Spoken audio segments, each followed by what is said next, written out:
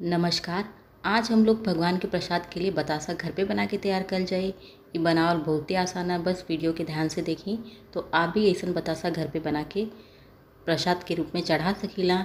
ये बताशा अक्सर हम लोग के यूपी बिहार में शादी के समय लड़की की विदाई में भी दिहल जाला।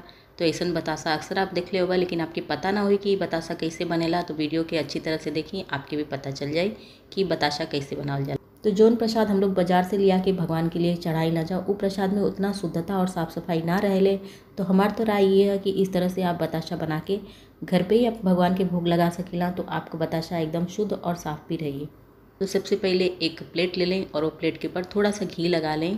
कैसे कि बताशा का जब पाक तैयार होला तो इतना जल्दीबाजी रह ले कि यदि आप घी लगावे के चक्कर में पड़ब तो ये बताशा का पाक जम जाए और बन ना पाई तो यहाँ पर हम प्लेट में पहले से घी लगा के रख लेते हैं और अब क्या करें कि एक मोटी तली का कढ़ाई ले लें और वो मोटी तली की कढ़ाई में एक कप चीनी डाल दें। तो जौने कप से चीनी है, उसी कप से आधा कप पानी डाले के हमें पानी डाले के बाद ये चीनी और पानी के मिश्रण के तेज़ आँच पर उबले देवे के है। तो सबसे पहले गैस के तेज़ आँच पर खोली और उसके बाद ये कढ़ाई के रख दें और थोड़ा थोड़ा चलाते हुए एक उबले दें। और जब इस तरह से ये मिश्रण में उबाल आवे तो यहाँ पर थोड़ा सा ध्यान देवे के, यहाँ पर हमारे चीनी का रंग मटमैला है तो इसलिए हमें में थोड़ा सा दूध डाला था ये चीनी के चाशनी के साफ़ करे के लिए। तो दूध भी एकदम बिल्कुल कम डाले के है, एक चौथाई कप से भी थोड़ा सा कम डाले के है। तो यहाँ पर हम थोड़ा सा दूध डाल देते हैं। ये दूध डाले से ही चाशनी का रंग साफ़ हो जाए। दूध डाले के बाद ये मिश्रण में अच्छा सा उबाल आवेला और उसी उबाल के साथ सारा गंदगी छट के किनारे पर आ जाले तो के पलटा के सहायता से निकाल लें तो आपकी चाशनी का रंग एकदम साफ़ हो जाए। तो यहाँ पर अब चाशनी साफ़ हो गई लिया। अब ये चाशनी के तेज आँच पर फिर से उबाल लेवे के है जब तक कि आपके बताशा का पाग ना आ जाए। तो ध्यान यहाँ पर ई देवे के है कि यदि आपका चाशनी का रंग मटमैला होकर तब में दूध डाल के साफ़ करें। यदि आपका चाशनी साफ़ होकर वो गंदी न होकर तो थोड़ा भी दूध डाले का आवश्यकता ना है।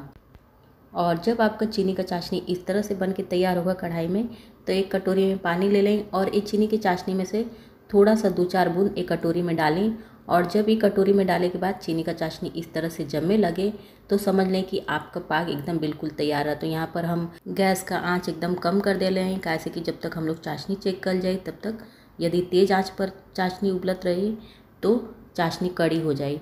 तो यहाँ पर देखिए, गैस का आँच एकदम कम है और इस तरह से चाशनी के चेक कर ले यदि आपका चाशनी इस तरह से बन के तैयार भैलिया तो अब यहाँ पर गैस के बंद कर दें और ये चाशनी के थोड़ा सा चला चला के ठंडा करें। तो यदि आपके छोटा छोटा बताशा बनावे के होकर तो यहीं पर आप एक कड़छी की सहायता से उठा के उस प्लेट में डाल सकीना थोड़ा थोड़ा मिश्रण के तो आपका छोटा छोटा बताशा बन के तैयार हो जाए लेकिन वो इतना खिला खिला ना बन के तैयार होला।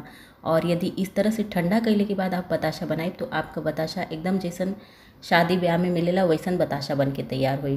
तो एक थोड़ा सा ठंडा कर ली, बस दो से तीन मिनट तक चला के जब ठंडा करब तो एक जब छोड़ब तो में बहुत अच्छा सा एकदम उबाल आवेला। जबकि आँच गैस का खुलल रहा तब भी अच्छा सा उबाल आई और तब भी तुरंत वो प्लेट में ये चाशनी के गिरावे के तो आपका बताशा एकदम नरम और खिला खिला बन के तैयार हुई। तो गैस बंद करने के बाद यहाँ पर चाशनी के चलाते हुए हमके सिर्फ़ पाँच मिनट बन रहा है। पाँच मिनट के बाद ये चाशनी इस तरह से बन के तैयार हो जाले और यहाँ पर आप देख भी सकते हैं कि इनमें कितना अच्छा सा उबाल आ गया। तो बस एकदम जल्दी से उठा के अब एक प्लेट में डाले गया। थोड़ा भी आप लेट करब तो ये कढ़ाई में ही जम जाए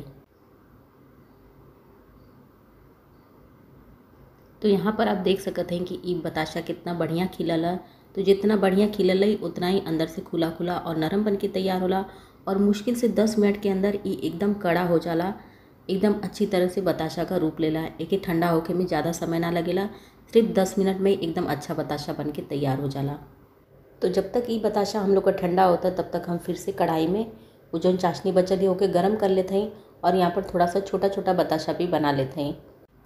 तो जिस तरह से ई बताशा बनावे के समय पाक के चेक कर ले रही है, उसी तरह से ये छोटा वाला बताशा बनावे के समय भी पाक के चेक कर लेवे के तभी आपका बताशा अच्छा बन के तैयार हो तो यहाँ पर देखिए मुश्किल से 10 से 15 मिनट के करीब भला, हम लोग कई बड़ा वाला बताशा एकदम बन के तैयार है अब छोटा वाला बताशा के भी थोड़ी देर तक ये प्लेट में रह देवे के तो छोटा वाला बताशा भी एकदम बन के तैयार हो जाए। तो आपका जब भी घर से बनावल प्रसाद चढ़ावे का मन करे तो आप ये बताशा के बना लें। बनावल बहुत ही आसान है, ज़्यादा समय ना लगेला। बस चाशनी आपकी पहचाने आवे के चाहिए चाशनी यदि आपकी अच्छी तरह से पहचाने आवता तो आपका बताशा एकदम जैसन हमार बनल है, वैसन बन के तैयार होई। चाशनी पहचाने में थोड़ा भी यदि आप गड़बड़ करब तो आपका बताशा खराब हो जाए तो हम तो हमेशा दीपावली के अवसर पर ऐसा बताशा घर पे ही बना के लक्ष्मी जी के चढ़ाई ला। तो आप भी इस दीपावली ज़रूर लक्ष्मी जी के ऐसा बताशा बना के चढ़ाएँ तो यहाँ पर देखिए हमारा बताशा कितना अच्छा कितना बढ़िया बन के तैयार भला ये बड़ा वाला और छोटा वाला भी बन के तैयार हो गला तो ये छोटा वाला बताशा बनावे के समय चाशनी थोड़ा सा उतना परफेक्ट ना भइले तो ये बताशा देखी कैसन बन के तैयार भला। लेकिन बड़ा वाला बताशा हमारे एकदम अच्छा बन के तैयार भला। तो जैसन बड़ा वाला बताशा बनावे के समय हम आप लोगन के चाशनी बतौनी है वैसे ना चेक करके आप बनाए तो आपका बताशा भी बिल्कुल हमरे तरह से बन के तैयार हुई। तो यहाँ पर हमें बताशा के तोड़ के भी दिखाते हैं कि बताशा अंदर से कितना खिला खिला और एकदम नरम बन के तैयार होला। चाशनी एकदम अच्छी पहचाना तो आपका बताशा इस तरह से खिला खिला नरम बन के तैयार हो नहीं तो फिर वो कड़ा भी बन के तैयार होला, जो उनकी दाँत से टूटे लाना। लेकिन ये एकदम अच्छा है, एकदम खिला खिला और नरम है। जैसन शादी ब्याह में मिलेला, बिल्कुल वैसन बन के तैयार भैला तो यदि ये वीडियो आप लोगन के थोड़ा भी अपनी भाषा भोजपुरी में पसंद आई लो तो वीडियो के लाइक, शेयर, कमेंट कर बिल्कुल भी ना भूलें। और यदि चैनल पर नया है, ऐसे और भी रेसिपी अपनी भाषा भोजपुरी में देखल चाहते हैं तो भोजपुरी सखी रेसिपी के सब्सक्राइब कर लें और नीचे कमेंट ज़रूर करें। कमेंट करने से पता चलेगा कि आप लोगों की ये वीडियो अपनी भाषा भोजपुरी में कैसा लगत है तो मिलत है फिर अगली नई रेसिपी के साथ। तब तक के लिए नमस्कार।